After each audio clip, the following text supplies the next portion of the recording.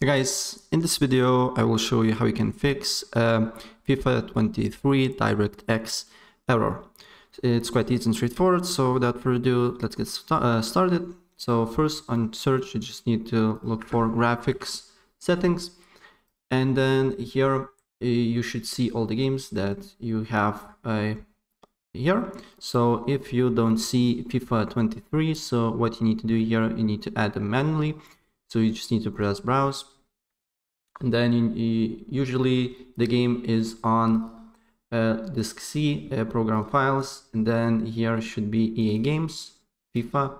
And then what you need to do here, you need to add these two options here and set up as a high performance.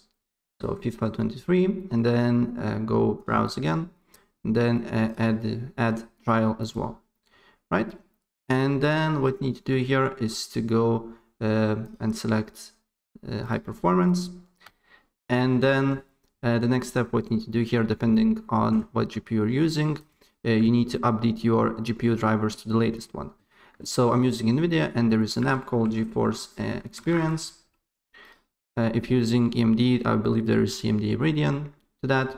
And then you just need to go to drivers and check for updates. And if there is an update for you that you need to download and install, please do so.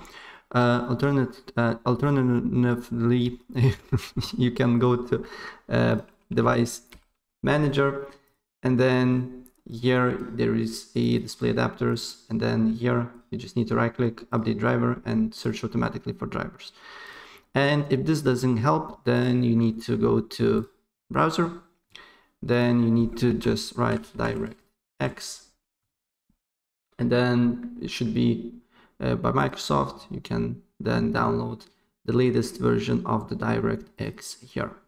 And once you do that, then you just need to save it to whatever you like. And then you just need to install DirectX to your computer.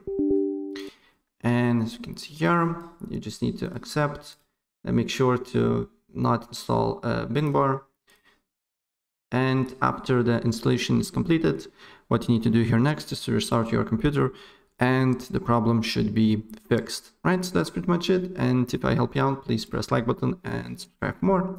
Uh, take care.